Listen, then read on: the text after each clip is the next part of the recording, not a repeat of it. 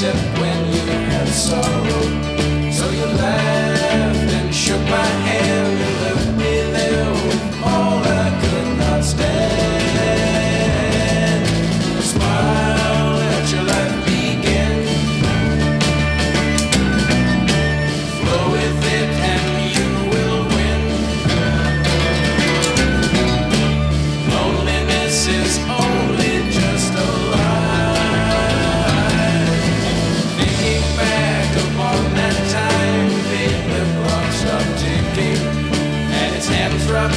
across his face to hide what it was thinking. So he left.